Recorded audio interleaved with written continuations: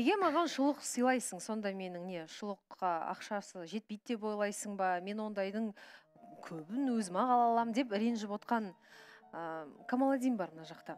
Сондықтан камаладин сенің рұқсатыңмен жігіттер сендерге бір үндеу жасағым келеді. Жігітін дұрыстап сыйлықпен қамтамасыз ете алмайтын қыдырта алмайтын қыздарға көмек ретінде жігіттер біз қор ашайық. Қыздарға қаржылай көмек көрсетеміз.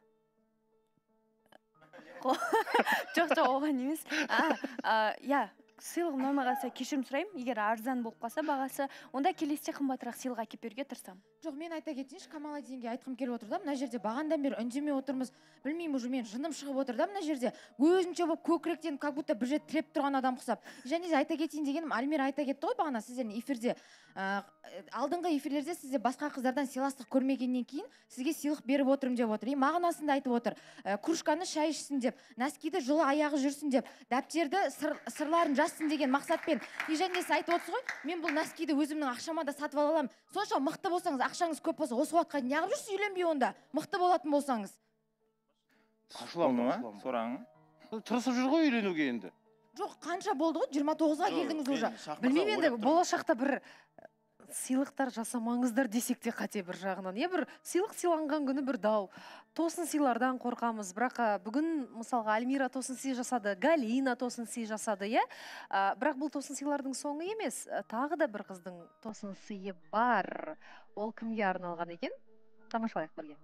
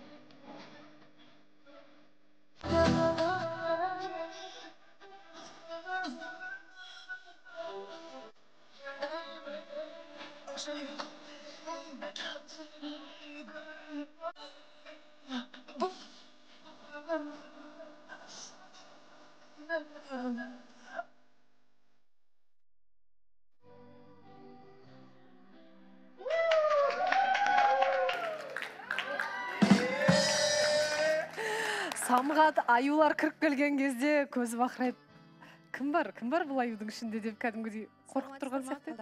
сәлем гүлназ. Самғат бүгінгі туған күніңізбен өмір жасыңыз ұзақ деніңіз сау болсын. Әрдайым күліп ойнап осылай жүре беріңіз. Екінші аюдың ішінде кім бар екен? Мен соны ойлап отырмын да бір аюдың ішінен енді бұйырса бәйбішесі екінші аюда тоқалы ма не түсінбедім гүлназдың досы екен. Не дейді? Потом танысамыз дейді жоқ негізі кемеңгер ма деп ойлап қалғанмын негізі. Бірақ гүлназға э, шынымен де тосын сый болды. Рахмет көп көп кеше негізі шамалы э, сөйлеспей қалып сөйтіп қалған едік ол нәрсені бағалайтын боламын.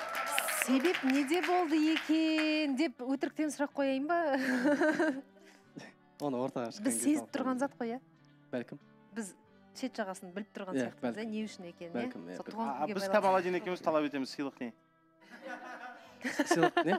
Ана сыйлықты сұрап тұр ғой ішінде не деп. А айта салсаң болады негізі сыйлықтың иесі. э, аяқ киім да? Негізі фан аккаунттары не үстіне киім алған болатын соны киімі түгел болсын деп аяқ киімін алып келген болатын. Көрдің ба камаладин носки құтты болсын самғат тағы да туған рахмет көп көп. Рахмет көп. Гүлназ гүлназ көп рахмет. Иә жақсы тосын сый Иә. болды. Кетіп қалма күт. Күт дейді. Ренжісіп қалсаңыздар да ал. Рахмет. Шығарып салайық аюларымызды. Бара құтты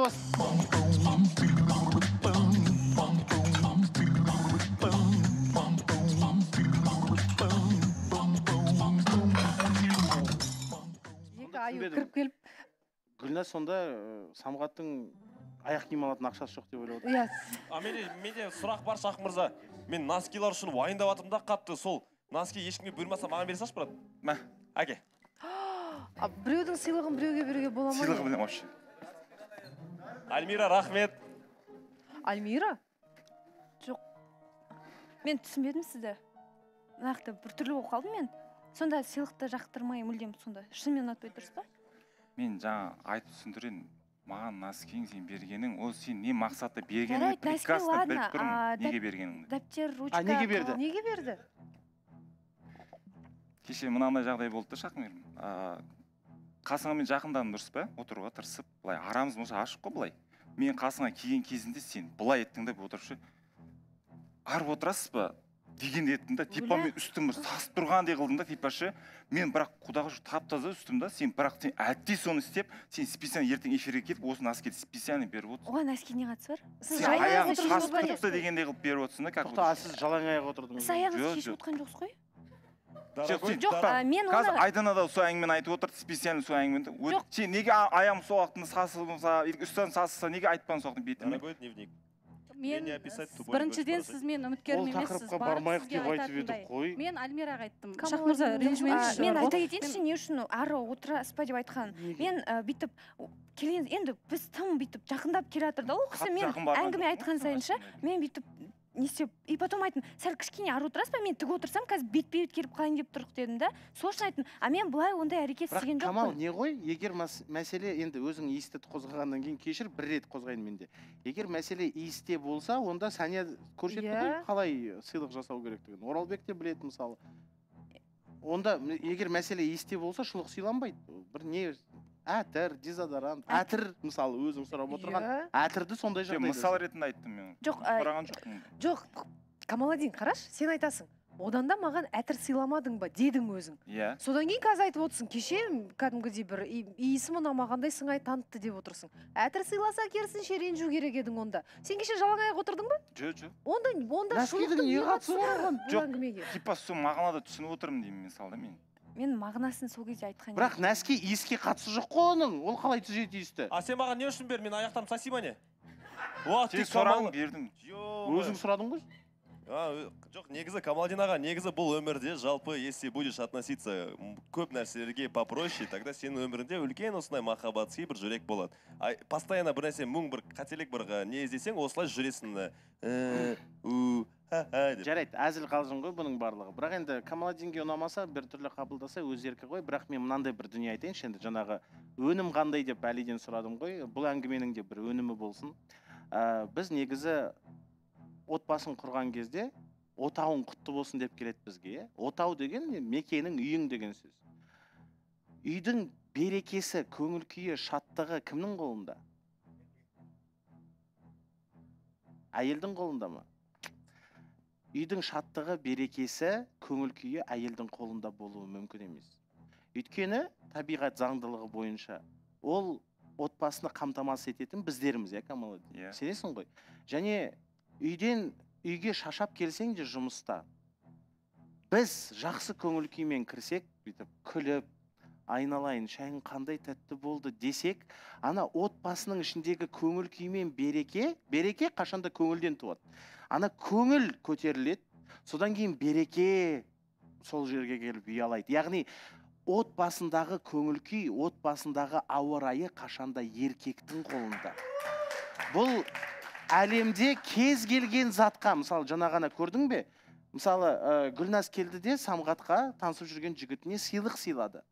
Қарасаң бір жақсы жақсы бір әрекет ретінде қабылдауға болады. Бірақ ниетің болса мен сияқты жаман жағына да аударып жіберуге болады. Сонда не аяқ киім алуға ақшасы жоқ деп отырсың ба? Сен оны төмендетіп отырсың ғой. Сонда не оның киіп жүрген аяқ киімі ұнамай ма? Не саған деп тиісіп шұқылап бастасаң ана жақсы бір ниет автоматты түрде жағымсыз бір көңіл күйге ұласып кетеді.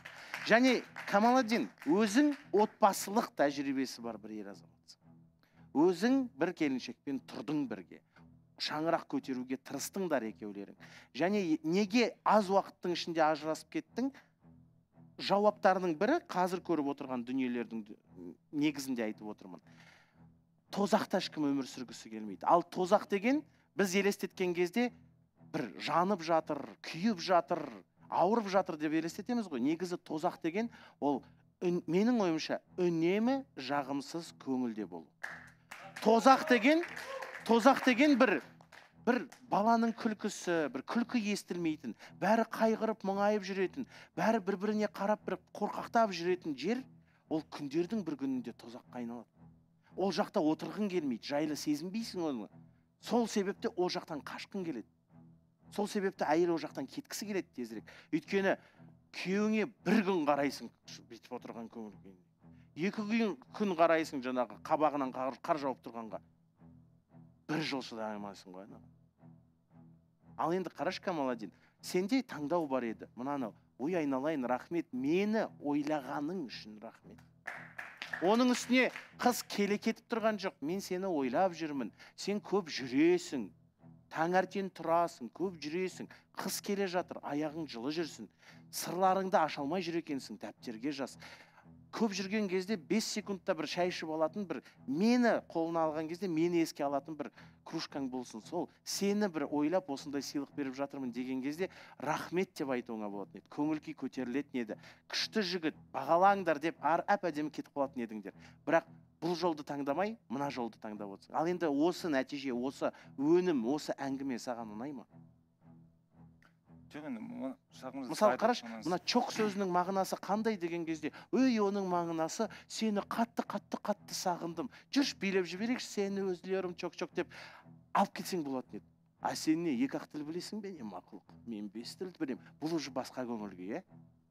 Мен ол айтқан жоқпын мен айттың айтпадың осы көңіл күй саған ұнай ма қарашы сені таңдаған және сен таныстыққа келген кезде фу демей кәдімгідей ой кездесу керек екіде болса келіңіз сөйлесеміз деп отырған көңілі бар қызды қазір алдыңда өзің суытып жібердің деп ойлаймын осы ма сенің меңзегенің осы ма яғни таныстыққа отбасына жетелейтін жол сенің ойыңша жоқ жоқ жоқ онда неге бұны жасадың бұл әңгімені біз шығарған жоқпыз қыз шығарған жоқ. Сен шығардың ғой неге бұл таңдауды жасадың мен ұнамаған нәрсемді тікелей айттым. Қалай ұнамады осы нәрсені айттым. Жоқ кішкене себеп іздеп отқан сияқты ғой шах мырза жарайды енді. Бірақ бұл қырсықтығыңыз расымен де бір ііі еркекке тән емес ііі жараспайтын қасиет. Одан барынша алшақ болыңыз. Альмира енді бір шұлық үшін осындай шу шығып кетіп жатыр. Не істейміз таныстықты ары қарай жалғастырамыз ба? Жоқ әлде тоқтатқың келіп отыр. Ма таныстықты? Мен бұлай ә, жаман нотада аяқтағым келмейді. Ә, сөйлесіп мен түсініп көргім келеді кісіні. келе ма түсініп түсіндіріп көргім келеді иә. Жарайды өзіңнің сұрайық бәлкім камалдин шұлық үшін иә иә. Таныс жалғасады. А жалғасам екен. А жарайды онда камалдин сенің зодиакалды белгің қандай? Ау? зодиакалды белгің? Жұл- Жұлдыз. мерген. Мерген жарайды. бара қойыңыздар.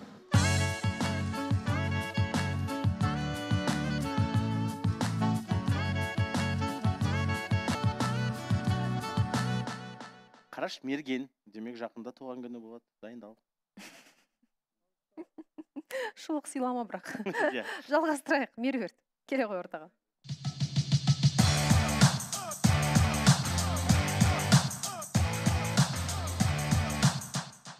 Отыра берсін қалың қалай?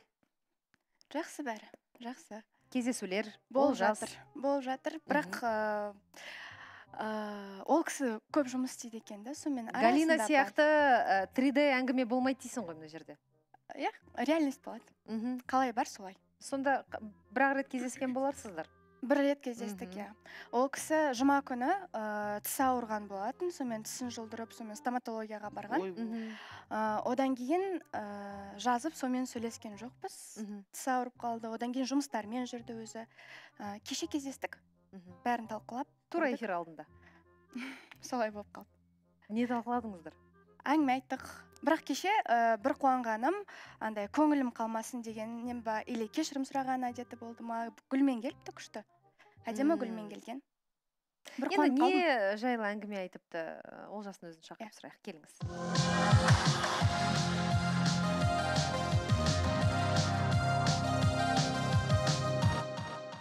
Олжеке ассалаумағалейкум қалың қалай? Қалай тісің? өздеріңізде қалай? Жаңағы тісің ауырып қалыпты иә тісім жасаттым. Жазады бәрі жақсы болды. Сөйлесейік деп сөйлесейік деп кездестік. Ә, кафеға барып барып тамақ ішіп сө- сөйлескенбіз екеуміз. Мен негізі олжасты танысам енді сені танимын ғой. Э, және сен келген кезде меруерт те біледі қалай мақтағанымды. Өте күшті жігіт иә. негізінде.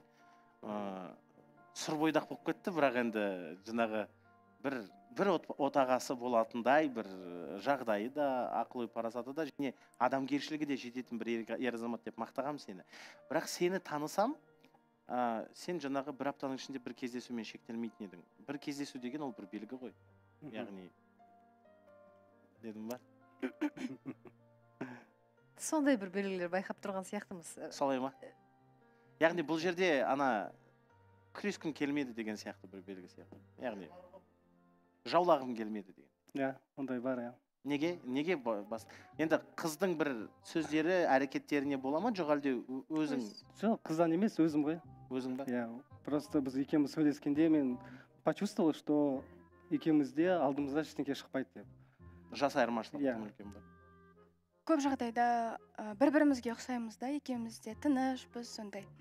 Ә, бір нәрсе айту үшін де ұзақ уақыт ойланып сондай әңгімелер айтамыз да.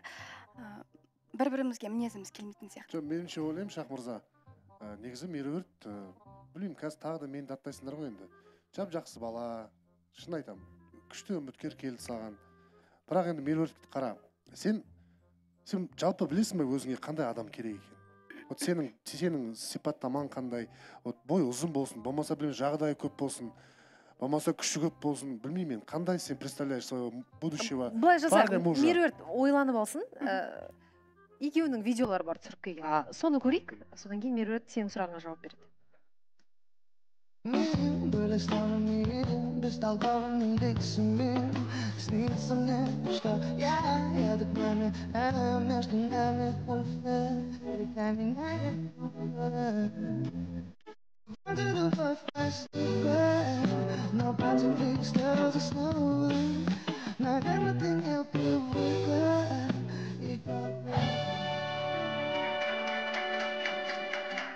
Кім жасады Мен. а неге бұл ән Ам, осы жағдай ситуацияға байланысты. Наверное ты не привык мүмкін ойында біреу бар шығар мүмкін бола ой, өткенін ұмыта алмаған шығар деген сияқты. А. Таныстық арасында бізде сөздерімізден байқалады да ә, как будто бұрын өткенін ұмыта алмаған адам сияқты. А кім ол өткен? Білмеймін ол мүмкін жүрегім бос емес шығар менде. Мүмкін ол былайша қой кім? Енді сіз білесіз ғой осы жерде. Қай қызбен жұп болдық? Бану ма Иә. а әлі сол сағыныш сезімі бар сияқты ішінде. Айтқан кезде сипаттап береді ғой болған нәрселерін өткен оқиғаларын айтқан кезде көзінен оты жанып тұрады да. Маған арналмаған от ол. Басқа шахкер мырза мен просто так понял что как будто мен меруертке шал деп ойлаймын ғой өзіме шал. Иә. слишком үлкен көрінемін. Жоқ енді бір жағынан өзі өзінің жағдайын не- нетіп отыр ғой саралап отыр ғой. Шах мырза мен айта кетейінші енді олжасқа. Әрине олжас егер сіз жас қыздарды таңдап келетін болсаңыз шал боласыз ғой әрине. Бір емес екі рет сіз жас қызды таңдап келіп отырсыз біреуі бану болса екіншісі меруерт. И және де мен сізге шал емес мен сізге бір күшті ә, ат қойғым келіп тұр сұрбойдақ деген. Олжас сұрбойдақ деген ат негізі сізге өте күшті жарасатын ат сияқты қоямын дегенде шошып кеттім ғой сүрбойдақ болады болады негізі. Иә сұр- жоқ негізі сүрбойдақ екендігіңді мойындайсың ғой иә. Ол несі қандай? Переводы сүрбойдақ енді ә, сұр бойдақ дейді біреу негізі сүр бойдақ дейді оны. Ана етті ә, ауаға іліп қояды ғой негізі сүрленсін деп. А иә сол иә. кезде ет сүрленіп кетеді. Иә иә енді тура солай сүрленіп кеткен бойдағы Ә, яғни жасы жасың қаншада? отыз бірде. Міне отыз бірге келіп әлі үйленбей жүрсең онда сүр бойдақ дейді сен. Иә де сүрбойдақ деген шынымен де келіседі. Енді ренжімеңіздер.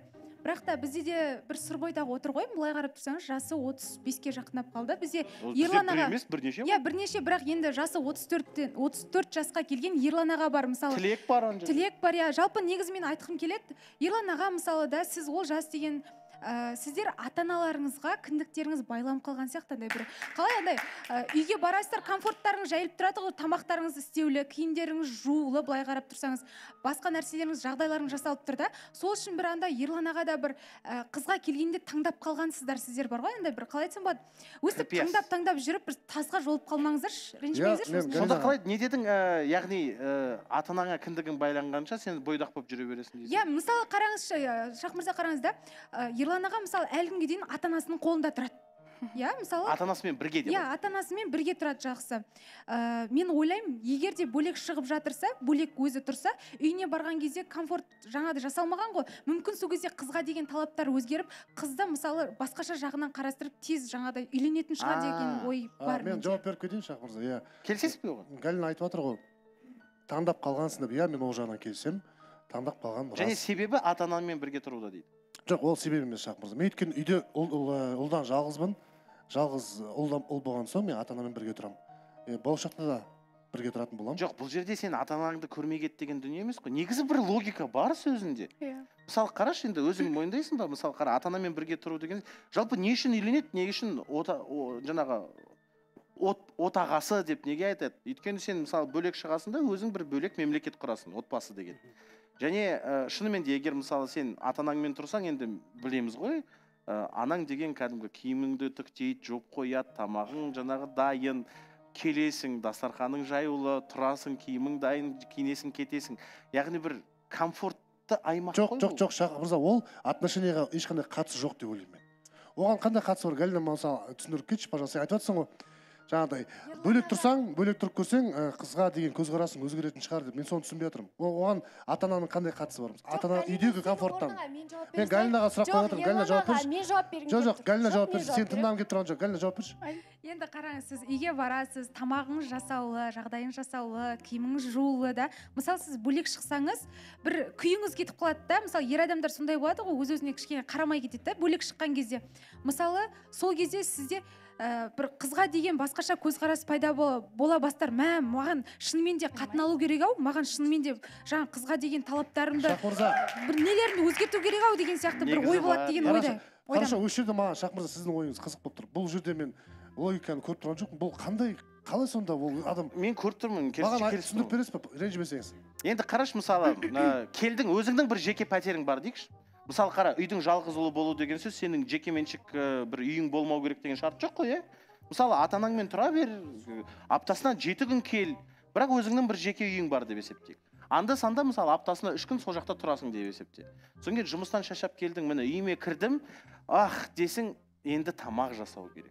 Ертең дайындалу керек кірді жуу керек оны кептіруге оны үтіктеу керек. Яғни белгілі бір комфорттық аймағың кетіп қалады. Содан кейін ең қорқыныштысы жаңағы бос. Үй күшті ремонты мықты бірақ бір бос. Оны мен қашан сездім? Жақында мысалы менің әйелім баламды алды да жаңағы ә, не ә, жаңағы қалдарын сұрап барып келді. Жобасы бір екі апта алған шығар. Сол кезде кәдімгі ә, ана күнделікті өмірде бала жүгіріп жүреді айқай шу таңертең оянып жатқан кезде ана шырылдап жатқан бір тамақтың иісі шығып жатады ана жерде бір дыбыстар шығып жатады. Бір көңіл күймен оянасың да ана жерде уже тұрдың бос тыныштық бардың ана біз әдетте жаңағы о бала ызыңдап мына жерде әйелің ызыңдап бірдеме деп жатады. Ей тұра тұрыңдаршы мен мынаны қарап алайын деп кәдімгі қиналасың ғой. Ана жерде ананы көріп алдың мынаны бітіріп алдың и әңгімелесетін адам жоқ бір бөлісетін адам жоқ. Сол кезде сағынады екенсің кәдімгідей. Бәлкім сөйтіп өздеріңді комфорттық аймақтан шығарсаңдар бәлкім ей маған бір адам керек ау деген сияқты дүние болатын шығар. Өйткені енді турасын айту керек қой біз өмірге ата анамызды ол дүниеге аттандыру үшін келдік. Дұрыс па? Белгілі бір уақыттан кейін бәрібір біз ата анамызды шығарып саламыз. Сол кезде мысалы сен комфорттық аймақта өмір сүріп жүрдің жүрдің жүрдің жүрдің жүрдің. Ал енді ата анаң жоқ. Ай үйің аңырап қалды. Иә шакир мырза өте күшті айтты. А бірақ оны түсінген кезде жасың да қырықтан асып кетті. Бәлкім соны ертерек түсіну үшін өзіңді қолмен сол кіндікті үзіп бөлек жерге шығарсаң бәлкім тезірек қимылдайтын шығарсың. Енді иә мен дұрыс айтып жатырсыз шах мырза. Иә ол ыыы әсерін береді шын. Иә ерлан аға менің Иә. де сізге көптен бері қоя алмай жүрген сұрағым бар еді өте керемет. Сен бүгін саня тұра тұршы қазір бүгін маған қадалғың келіп мен жүрген сен? бірінші мен сұрағымды қойып алайын да. Мен негізі алдында білсеңші ерлан аға. Тұра тұршы айта кетейін. Жоқ мен саня айтайыншы жобадан шығатын ерлан кезде аға. сонша переживать етіп едім осы қызды. Білмеймін бүгін не үшін атылып жатқанымды ойбой енді мен кетеді екен деп уайымдады деп ас үстіңізге тиін ба не істеймін? Пікірің қандай? ерлан аға былай да. келмейді сен? Сөйлемей ақ қойшы маған.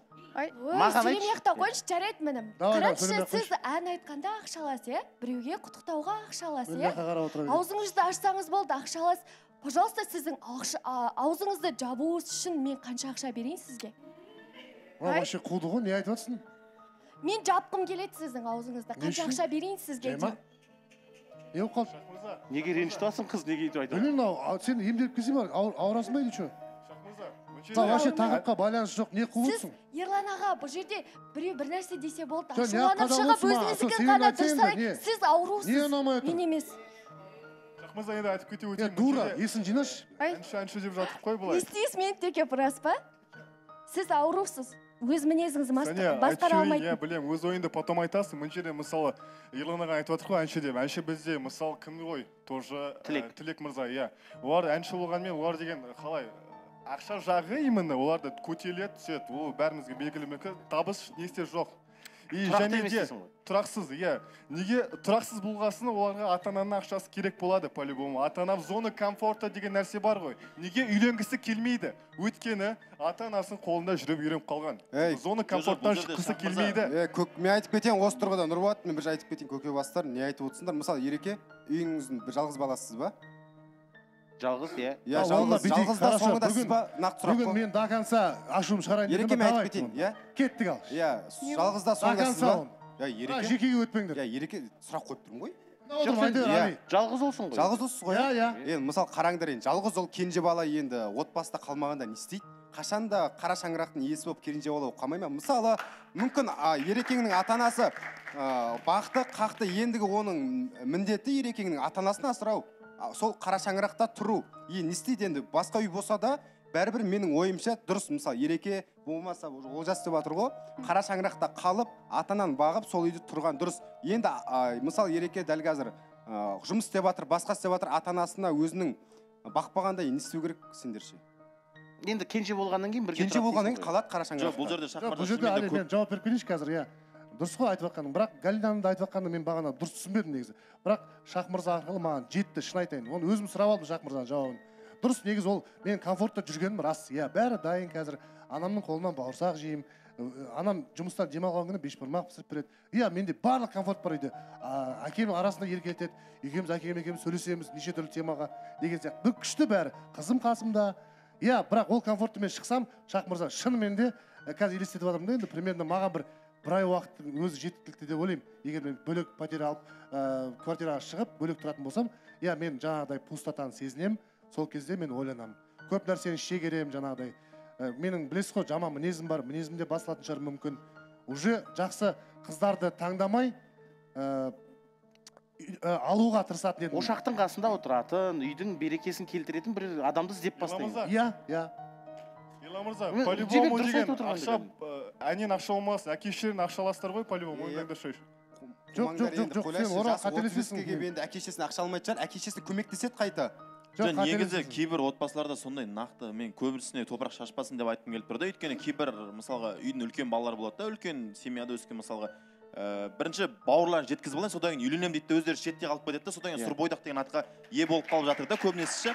И жаңағыдай ата анасы олжас та сондай иә сенің інің үйленген иә? Иә сендер қазір сол інің келінің содан кейін ата анаң бірге тұрасың бірге тұрып жатырмыз енді бұл кісілерден мысалы ата анасы жалғыз болғаннан кейін қайда өздері жеке шығып кететін болса ол кісілердің де тірлік тіршіліктері бар деген сияқты. Бірінші может сол кісілерге комфорт істеп беремін деп жүріп өздері де ойламай жаңағыдай осындай әңгімелерге келіп қалып жатыр деп ойлаймын да өзім негізі. Ол да бар негізінде ол да бар. Бірақ мысалы Иә, қарашы елес мырза, мен осы жерде галинаның тізіміне тағы бір адам қоса салайын айттым ба айтпадым ба? Мақпал бар осы жерде бізде. А ой мақпал айтпақшы иә жасың қаншада сенің отыз бесте ма қаншада едің? отыз беске келемін иә отыз жаңа беске келіп әлі жүрсің сен не қасында байың жоқ не басында үйің жоқ не астында көлігің жоқ. Еще сонымен қарамай қа- соған қарамай красавчик бір шетелдің адамын күтесің иә?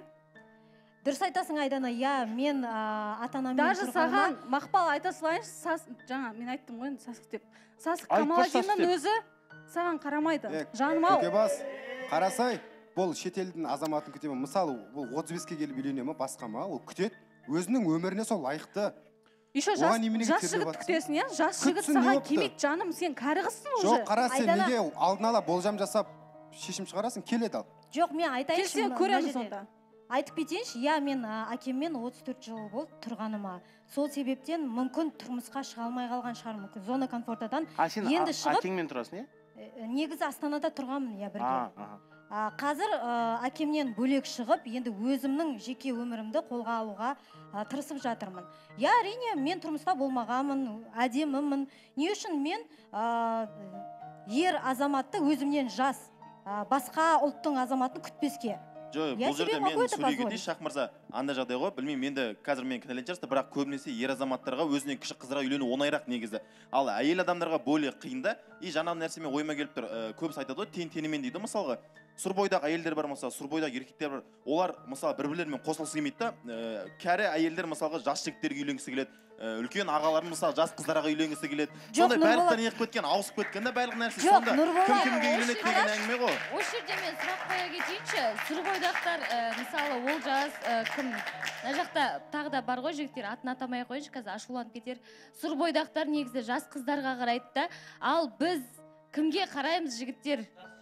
Жоқ Жоқ, сұр бойдақ жігіттер мысалы жас жас қыздарға қарап жатыр ғой. Ал біз жасымыз келді мысалы кім бізге біз кімге қарауымыз керек жігіттерге жоқ сұрақ? мен енді маған да тиіп жатыр ғой бұл сөз. Типа сен ә, жас қыздарға қарайсың деп. Иә маған да жас, жас қыздар келген.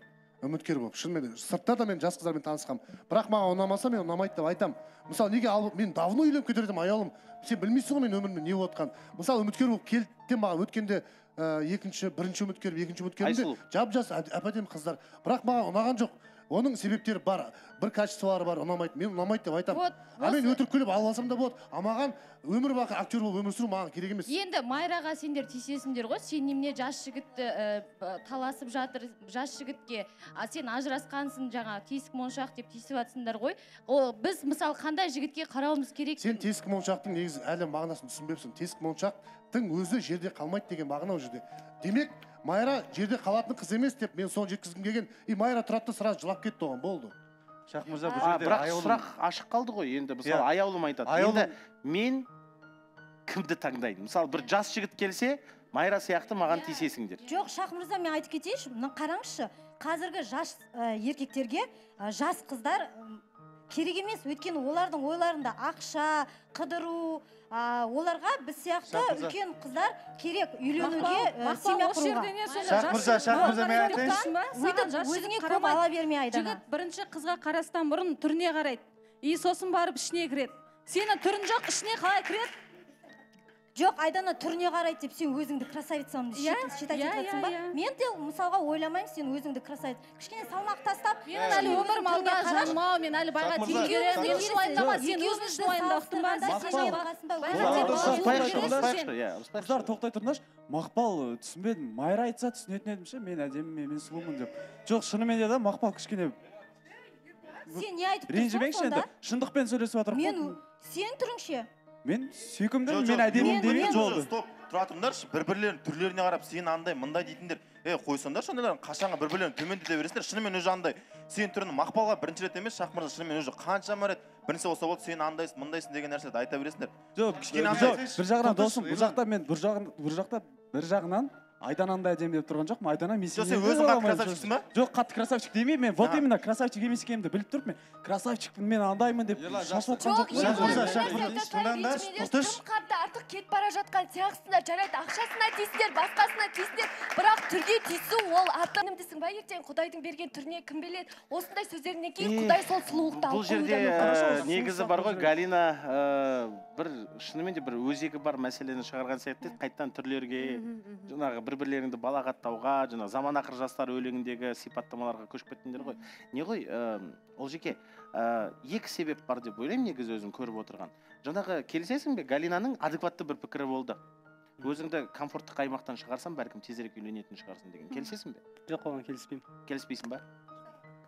А, потому что галина например мен үйленсем даже мүмкін мама папамен бірге тұрамыз біз. Какая разница? Жоқ үйленсең тұра бер. Либо галинаның айтып тұрғаны сен сол үйленгенше бөлек тұра тұршы. Содан кейін үйленіп мен қайтадан и так үш жыл командировкада болдым ғой. Бөлек тұрдым ондай болды ма ол да Иә. жұмыс істемейді дейсің ғой командировкада істедім ғой. Онда менің ойымша олжастың ә, жаңағы ниетінің ашылмай жатқан жаңағы таныстығының өрбімей жатқан себебі бануға деген әлі де бір нелер қалды иә? Әттеген айлар үміттер. Әттең осылай болса шіркін. Ғашық болдың ғой енді бірақ иә. әлі басылмады иә ол?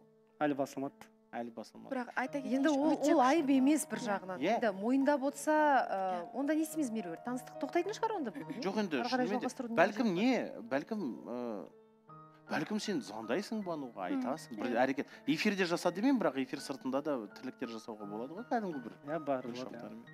енді шынымен де шынымен де мысалға біз де көмектесе аламыз иә оған Иә. иә шах мырза олжас негізі өте керемет жігіт өте керемет жігіт. Таныстық тоқтады ғой иә демек? Тоқтайды. Таныстық тоқтайды. Екеуміздің ортақ шешіміміз бойынша таныстық тоқтайды. Таныстық тоқтады. Ы, кім біледі? Бәлкім келешектегі эфирлерде олжас пен бануды көріп қалатын шығармыз иә? Олжасты шығарып салайық жарнамадан кейін. Бізде жаңа таныстық. Ы, үміткеріміз ерекше. Алыстамаңыз.